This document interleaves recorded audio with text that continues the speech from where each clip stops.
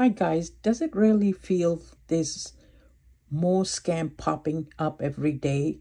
And it can be overwhelming, annoying, trying to keep up whether it's an email, fake phone, and who knows what else they're trying to get us. Sometimes it gets so annoying and sometimes it looks like we have to feel like we have to make every effort to protect ourselves from getting tricked. Watch this video. Package in the mail, but wait, I didn't order anything.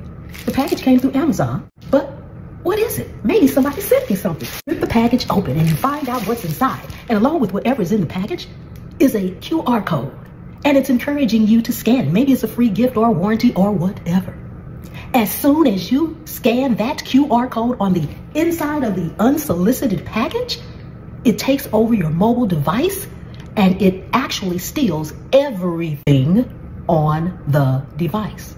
If you have banking information, websites you've been to, passcodes, anything, pictures, videos, whatever. So if you get an unsolicited package, do not scan any QR codes. Please note that Amazon and the other carriers have nothing to do with it. It comes from whomever is sending the package. I'm Pam and this. I hope this video was helpful. Let's share the video. This way other people become more aware. Thank you guys. I'll see you in the next one.